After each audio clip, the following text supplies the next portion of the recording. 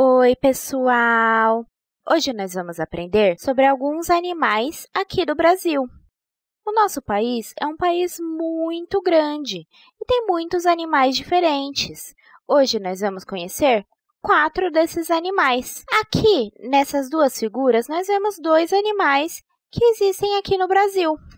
O macaco cuxiu preto e a arara azul.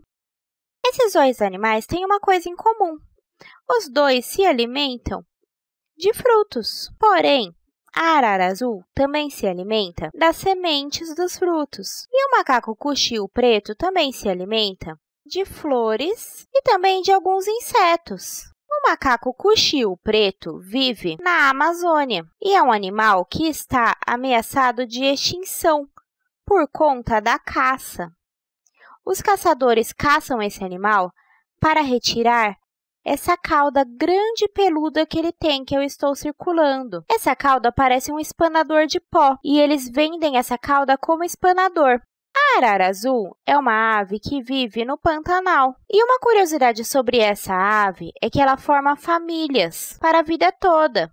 Depois que um casal se junta, eles ficam juntos a vida toda, mesmo depois que os filhotes crescem.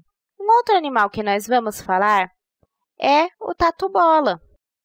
Esse animal vive na caatinga e ele se alimenta de pequenos insetos, como, por exemplo, a formiga. É um animal que também está ameaçado de extinção, também por conta da caça.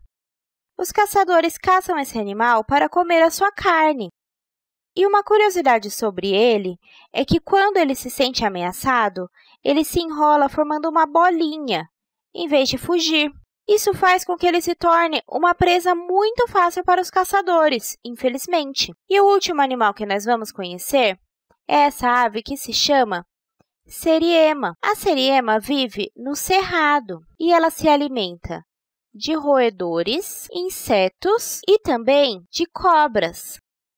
Como ela se alimenta de cobras, os fazendeiros gostam muito de mantê-la por perto. Em alguns lugares, eles chamam essa ave de guardiã das fazendas. Essa ave pode ser vista em casais. Ela também forma casais, assim como a arara azul. Então é isso. Eu espero que vocês tenham gostado e até a próxima!